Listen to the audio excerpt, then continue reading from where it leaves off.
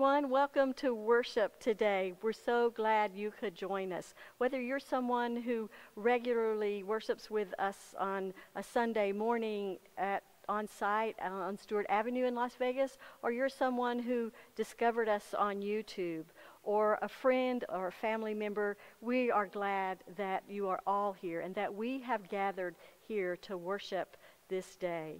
I'm Reverend Susan Holden, lead pastor here at Journey, and our worship team is working hard to provide and create new experiences for us during this extraordinary time where we worship uh, virtually together.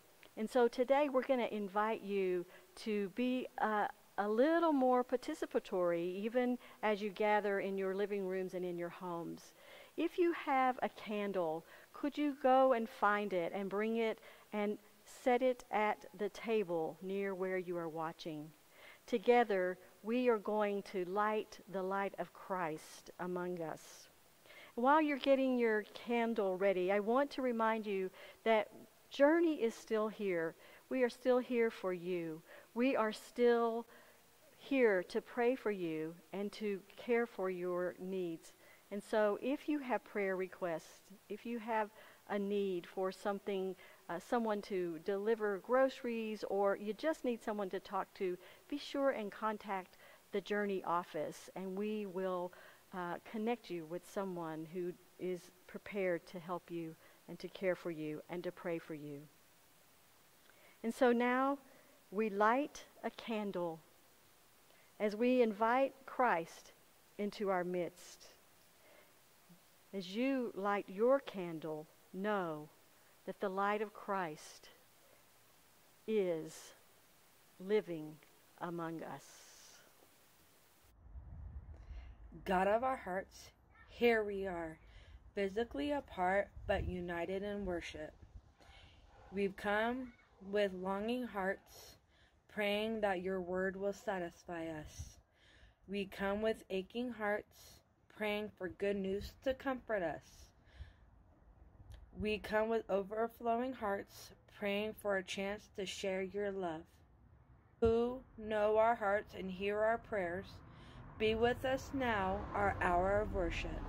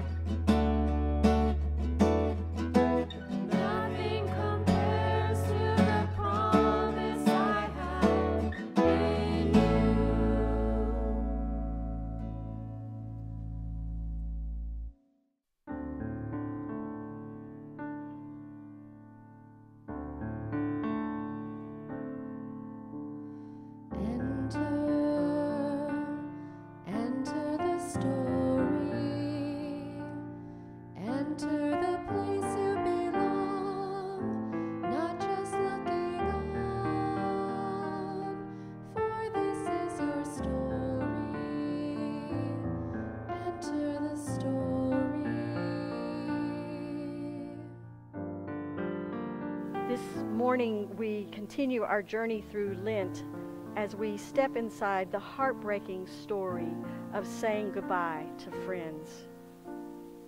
If we dare to step inside the frame of the story and to look around at what's going on there, perhaps even put ourselves into the story as a character, what questions might we ask?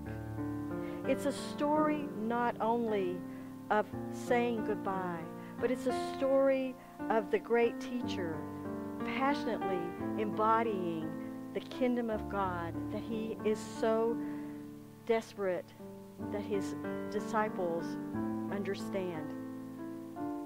Dare we step into the story? How might we be changed if we do?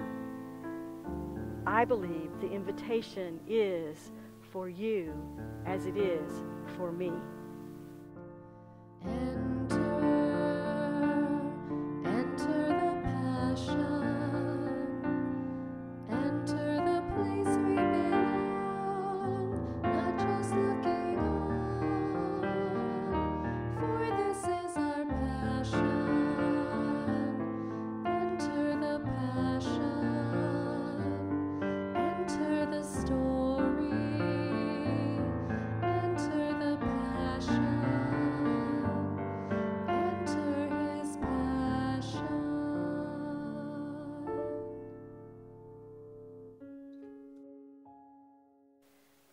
Know this our lives consist of continual moments where we can be aware, where we can notice, where we can offer ourselves in thanksgiving and humble service to both friends and strangers.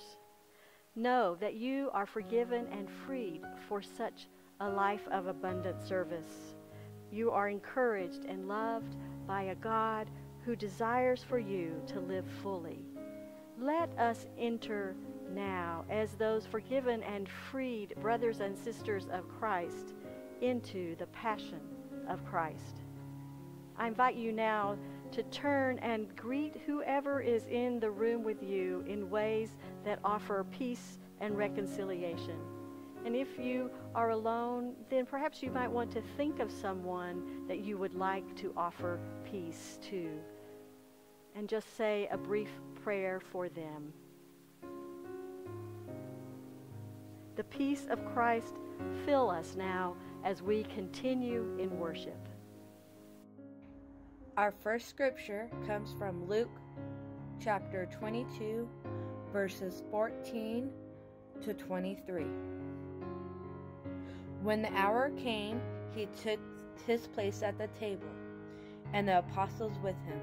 He said to them, I have eagerly desired to eat this Passover with you before I suffer. For you, I tell you, I will not eat it until it is fulfilled in the kingdom of God. Then he took the cup, and after giving thanks, he said, Take this and divide it amongst yourselves. For I tell you that from now on I will not drink of the fruit of the vine till the kingdom of God comes. Then he took a loaf of bread, and when he had given thanks, he broke it and gave it to them, saying, This is my body, which is given for you. Do this in remembrance of me. And he did the same with the cup after supper, saying, This is cup is poured out for you, is the new covenant in my blood. But see, the one who betrays me is with me, and his hand is on the table. For the Son of Man is going as it has been determined. But who to that one is whom is is betrayed? Then he began to ask one another, which one of them it could be who would do this.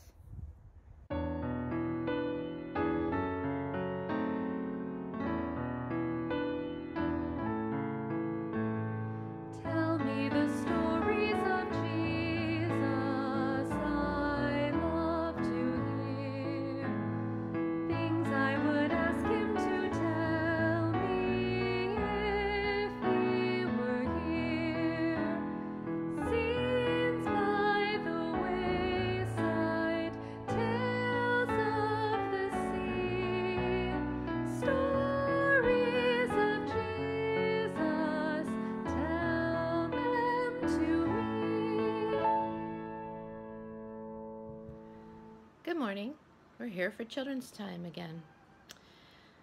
We're going to continue in our special time of year called Lent, a time of growing close with God. Before we jump in our story for today, I want to introduce you to my little friend here. His name is Shoni. Um, and let's prepare with our prayer. We will dare to join the journey. We will walk in your loving way. We will live your sacred story through the things we do and say. Amen. In today's story, we find ourselves at another meal called the Last Supper, or the Lord's Supper. This was the meal that Jesus shared with his friends on the night before he died. We are going to focus on a very special part of that gathering, and it involves us playing a bit, a little game. Listen carefully to the story, and every time you hear me mention a part of the body, Shoni's going to touch that part, and you touch yours. Got it? Let's enter the story together. Jesus knew the time was getting close when he would leave this world. He wanted to have one last meal with his disciples. Jesus loved his friends very much and wanted to make sure that not just their tummies were full, but their hearts as well. So he found a special way to show his love for them. Jesus got up from the table and tied a towel around his waist. He filled a basin with water and got on his knees. A little challenging for Shoni to have some knees here, but. Then Jesus began washing the feet of his disciples. But when Jesus came to Peter, Peter shook his head and said, You will never wash my feet. Jesus said, You don't understand what I'm doing now, but you will later. Peter said, Then also wash my head and my hands. Jesus said, It is enough to wash your feet. You are clean. Then Jesus said to all of them, Do you know what I have done for you? The disciples were all ears. Jesus continued, You call me teacher and Lord, and that is correct. If I, your Lord, have washed your feet, you too must watch, wash each other's. The disciples' eyes were filled with awe. Jesus continued, I give you a new commandment that you love one another, just as I have loved you. You must love one another. This is how everyone will know that you are my disciples, when you love each other. Jesus' words had truly touched the disciples' heart. Thousands of churches around the world commemorate this part of the story on a special night called Maundy Thursday. Maundy comes from the Latin mandatum, meaning commandment. It is based on Jesus' words we have just heard. I give you a new commandment that you love one another. Just as I have loved you, you must love one another. This passage is closely linked to Jesus' humble act of washing the disciples' feet, a surprising thing for a master to do for his disciples. I would like each of you to think silently about this. What is a surprising way you can show love for Jesus? What is a special way you can show love for others? Now let's all take a deep cleansing breath through our nose and out gently through our mouth and close in prayer. Loving God, help me to be a part of the story, knowing there's no job too low when it is done out of love. Amen. Thank you for joining me this morning. If the disciples had been paying attention, they would have the heard Jesus' own proclamation of his call to free those held captive, especially the last among society. And taking the place of a slave, he shows forth the fulfillment of this role. One that be further fulfilled and dying as a common criminal. Remember Jesus' words from earlier time. Hear these words from the Gospel of Luke, chapter 4. When he came to Nazareth, where he'd been brought up, he went to the synagogue on the Sabbath day. As was his custom, he stood up to read, and the scroll of the prophet Isaiah was given to him. He unrolled the scroll and found the place where it was written The Spirit of the Lord is upon me, because he has anointed me to bring good news to the poor. He has sent me to proclaim release to the captives and recovery of sight to the blind, to let the oppressed go free, to proclaim the year of the Lord's favor. And he rolled up the scroll, gave it back to the attendant, and sat down. The eyes of all the synagogue was fixed on him. Then he began to say to them, Today this scripture has been fulfilled in your hearing.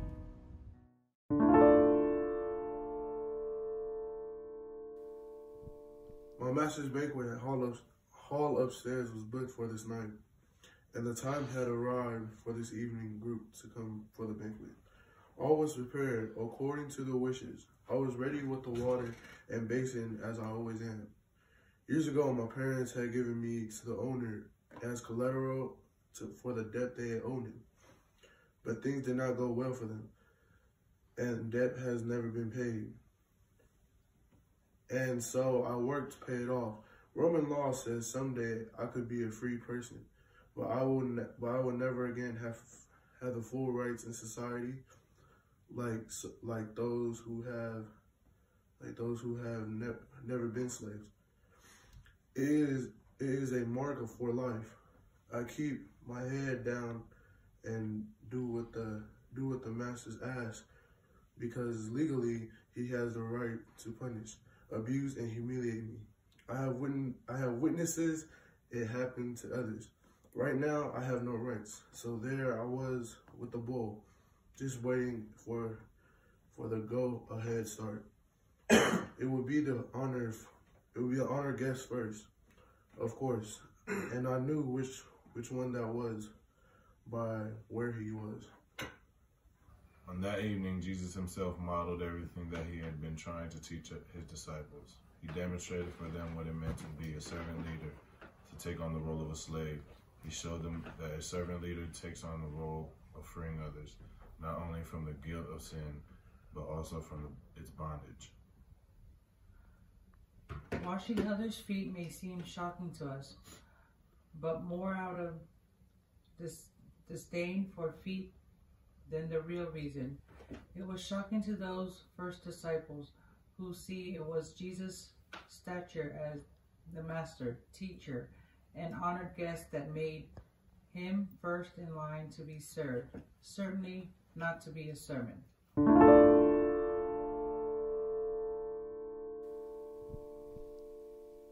It had never been like that before. Never, never been like that before. As Deborah described in the children's time, sure, it was another meal. It's the second dinner that we read about during Holy Week in Jesus' life. But it had never been like that before. Like the story of the anointing that we talked about last time, Jesus gives us an imaginative and embodied picture of what the kingdom of God is like. But it, as far as the disciples knew, it was, well, it was a celebration, but it was nothing unusual. You see, it was the Passover. And Hebrews, for centuries and centuries, had celebrated the Exodus, God's freeing of the Israelites from the Egyptians and taking them out of slavery into the wilderness for headed for the promised land. Now, it was a, a Passover meal. That means that the paschal lamb had already been sacrificed in the temple and it had been cooked. And Jesus had gathered with his best friends, his students, perhaps his family even, for the meal. And Jesus was the host of the meal. As was the custom, there was always an elder who led the community through the story. It was very scripted, it was very expected. Until that moment when Jesus took the bread and then the cup. And he told those gathered around, well, he called the bread his body, and he, he called the, the wine his blood. And then he told them to eat it. We really don't know or understand how repulsive that would have been to a first century Jewish person. It would have been the most disgusting, deplorable image or idea that they could ever imagine to eat flesh and drink blood. Hebrew people did not do those sorts of things. You see, those were the kinds of things that other uh, traditions did. Those were the things that the pagans did, but not Hebrews. And now Jesus is telling them something they had never heard before. It was never like that before. I can only imagine, can't you? The disciples taking the bread, which would have been a, a flat bread, tenuously passing it around, nervously looking at each other, perhaps elbowing the person beside them. Did you hear what he just said? Uh, sure, Jesus. Eat your body, drink your blood. Yes, I think we forget what a strange and disturbing moment this must have been for Jesus' disciples. Jesus had taken a tradition that was supposed to be familiar and comforting, and he had turned it inside out and upside down, and it's as though he had dumped it out. It was something entirely different to their ears. And as Jesus is confronting them with a new reality, I doubt it sunk in that this was both a physical reality, and a spiritual one. John, the gospel writer of John, begins his story in the framework of love. He writes, Having loved his own who were in the world, he loved them to the end. I give you a new commandment that you love one another. As I have loved you, you must love one another. And he challenged them to embody that with a new kind of reality as he took the towel, as he took the water.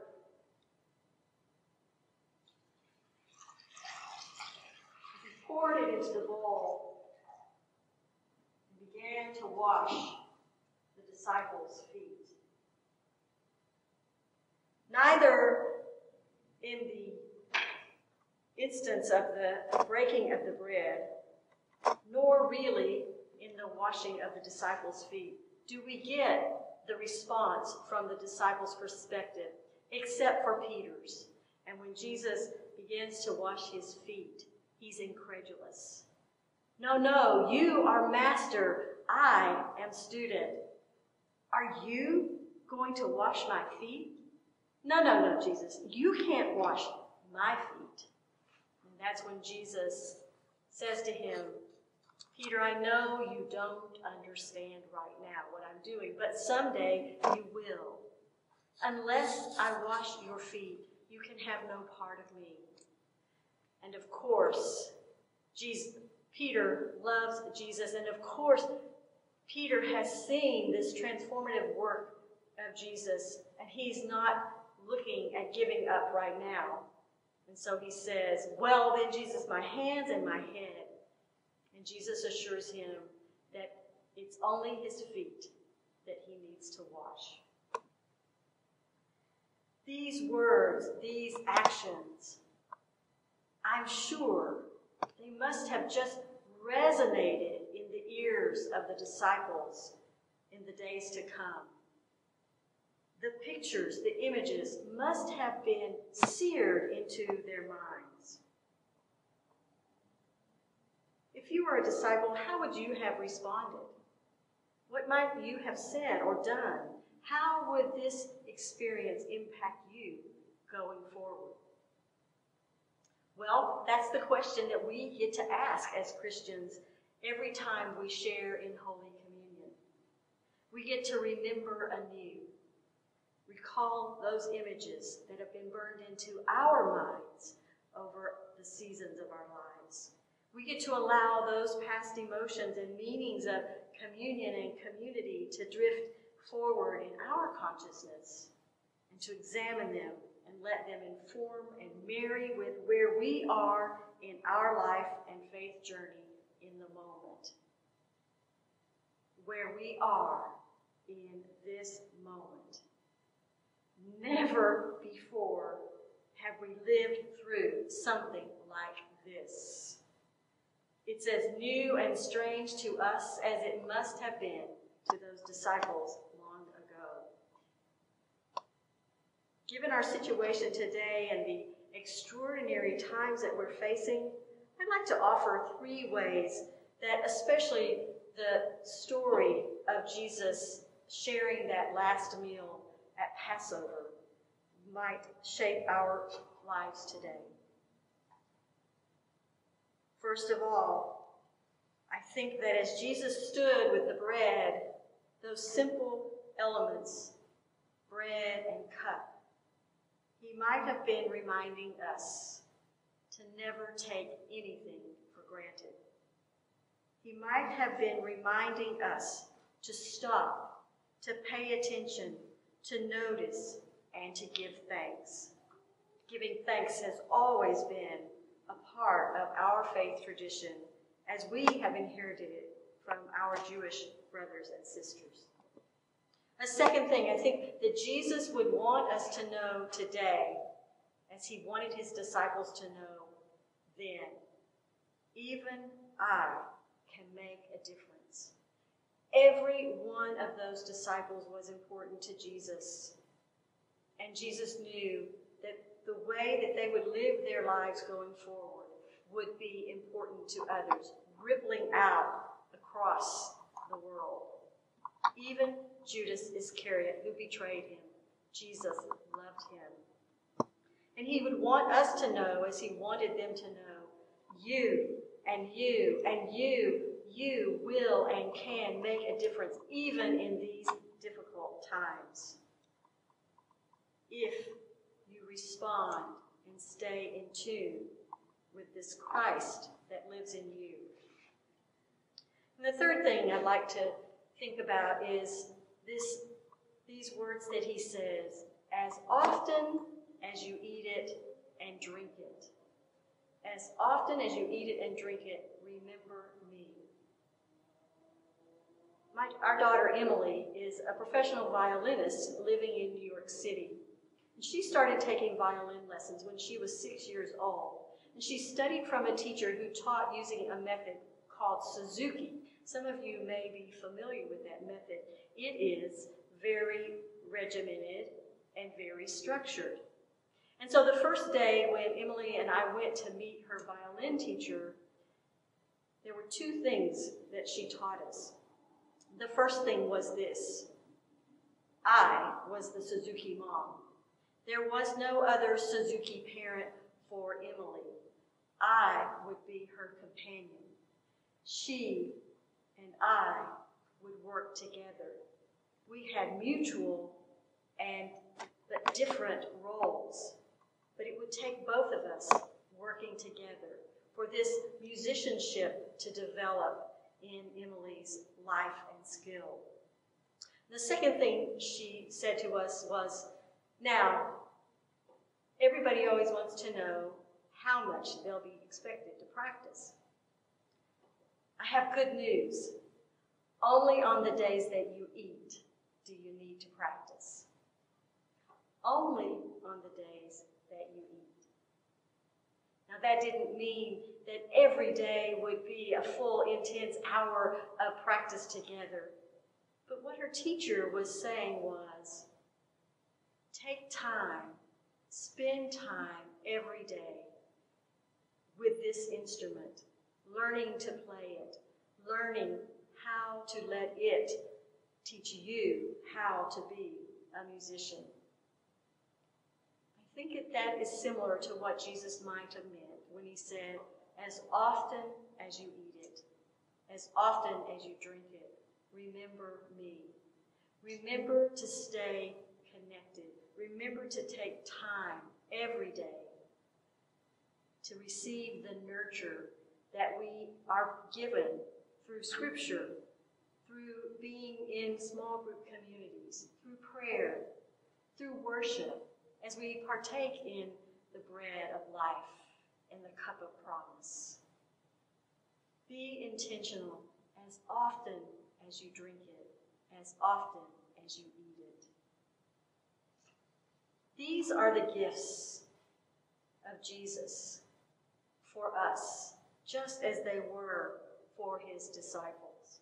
And each day of our lives, we get a chance to step back into that story, to let it inform our lives, let it shock us, let, us, let it knock us off of our feet.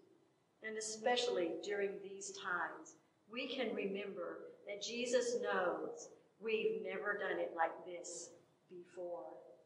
Thanks be to God that we walk in the light of that Christ. May it be so for you and for me. So, it is neither the first Sunday of the month, Communion Sunday, nor are we gathered together in one physical space. But the story of the Last Supper and the way that Jesus frames our life of faith and community tells me that it's a good time, even now, for us to partake, to give thanks, and to share a meal together in our own homes and in our own spaces. Jesus used the parable of a great banquet to which all people are invited to describe the kingdom of God. It's the family of God. And he, as the host in the story, shouts to his servants, Go, go to the highways and back alleys and urge people to come in so that my house will be filled. Jesus often invited the most unlikely guest to the dinner parties, and this frequently confounded the disciples and the Pharisees. In this way, Jesus was encouraging a deep love and connection beyond the social norms beyond the social norms, even including how it is that we connect today during this time of a challenge because of the coronavirus. Jesus knew that we humans need inclusion and connection. And so he reaches out to us saying, You too, you also, all of you have a place at the table. It's difficult at this time not to be near some of the people we love and might be worried about. So let's take a moment right now to just say the names of the people who we wish were with us now. For myself, I wish that my children were with me.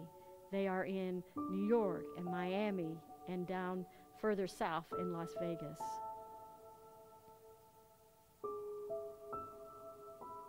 Jesus is no longer physically on earth, yet every time we gather around a table at any meal, we can call him to mind. He is present with us in spirit. And so too our loved ones are present with us in spirit. Let this be a comfort to us. We also want to call to mind the people who we cannot name, but whose names we know need to be lifted up, who we know need our prayers this day. Will you join me as we pray for those who have lost loved ones? We pray for their comfort. We pray for those who are sick and recovering. We pray for healing. We remember those who are caring for loved ones, those who are caring for the sick at home, those who are caring for persons needing medical care, especially in this time of great need. We pray for their strength and well being. We pray for those who are separated from loved ones, those who are feeling alone and isolated. May they feel the assurance of the presence of the great love. We pray for those who are helping and are so very weary at this time. May they find restoration and rest. For those who are struggling this day to find friends, support, food, and even the comforts of a roof over their heads. We pray for these, that those needs might be met. We especially pray for those who are afraid today, the fears of the unknown, fears and worries of being sick, fears of losing job and source of income. Oh God, you know our needs. You know our prayers. And we give you thanks that you are always more present to us than we can perceive or understand. And in you, you are able to do immeasurably more than all that we could ever ask or imagine.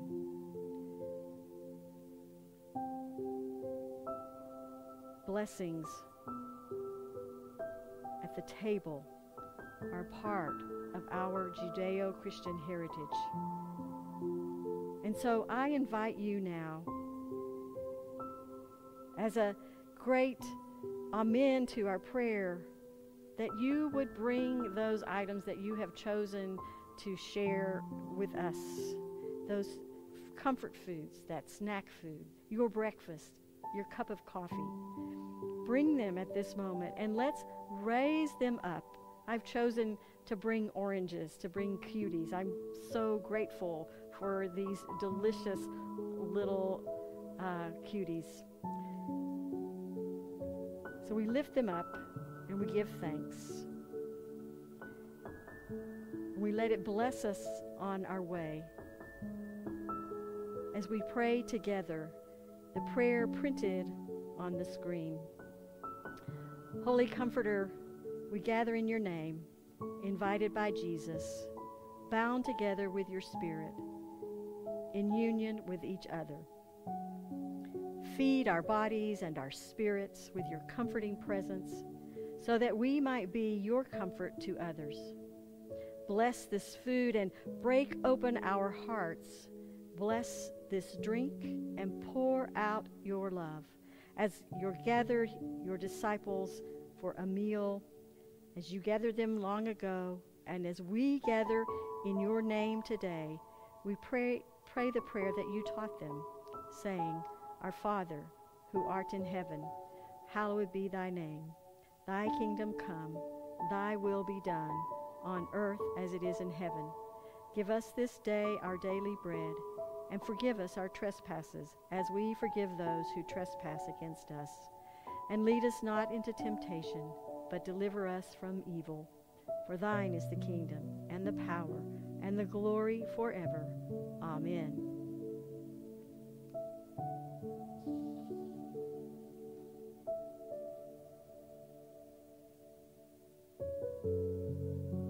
As you pass your plates around with any who are gathered there with you as you get ready to continue and eat your comfort food. Once we have signed off here, I encourage you to imagine what extravagant love looks like to you, even in a time when it's never been like this.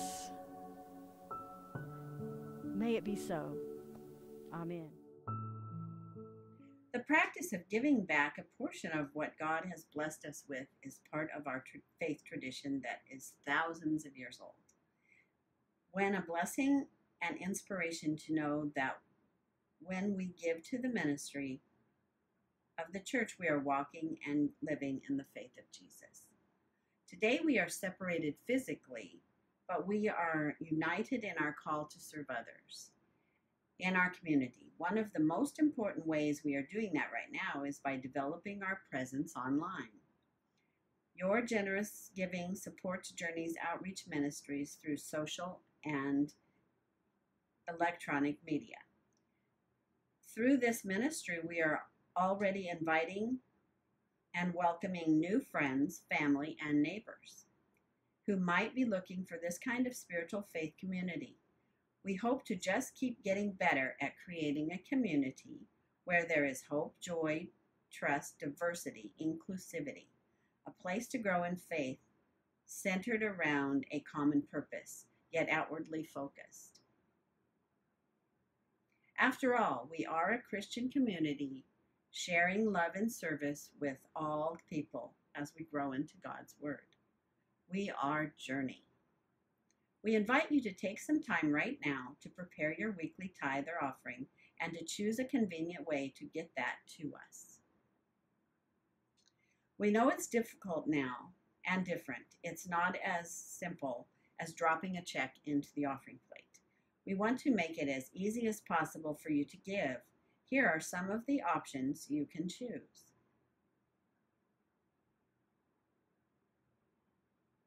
And you can always go on our website.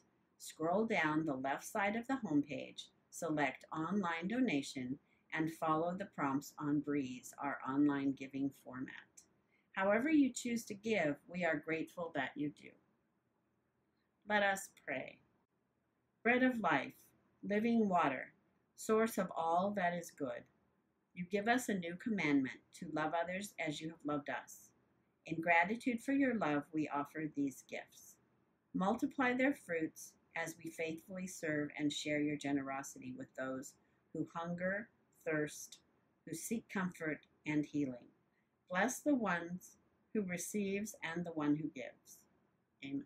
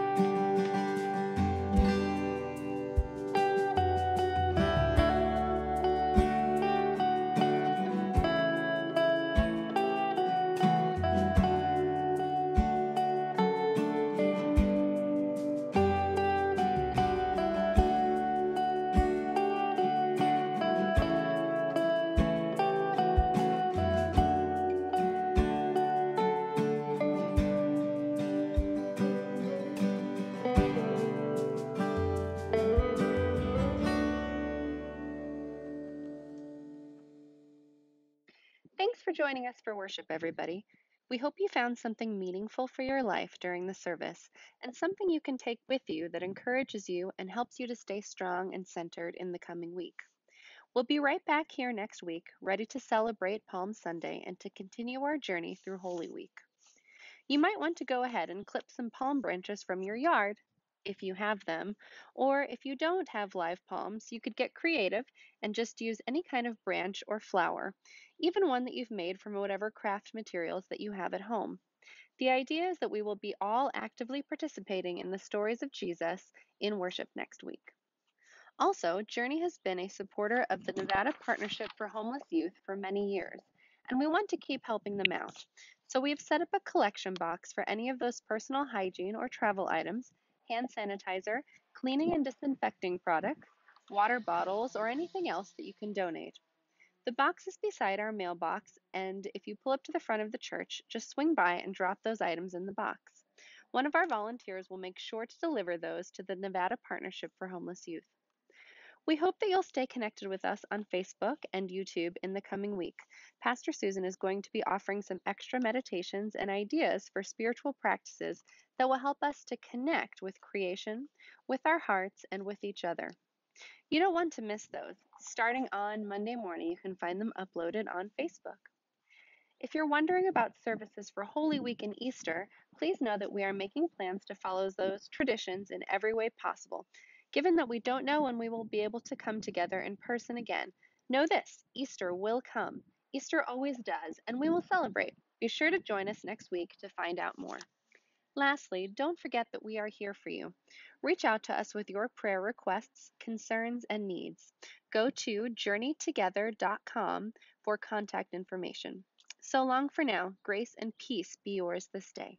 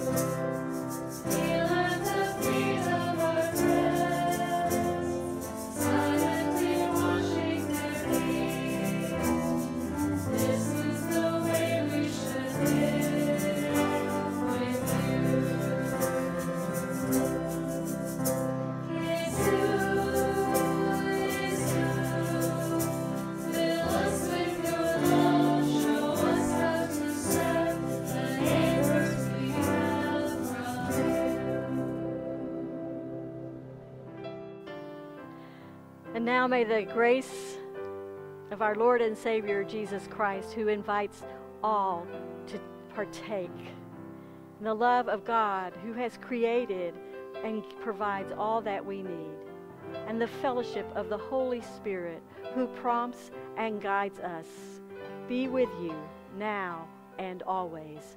Amen.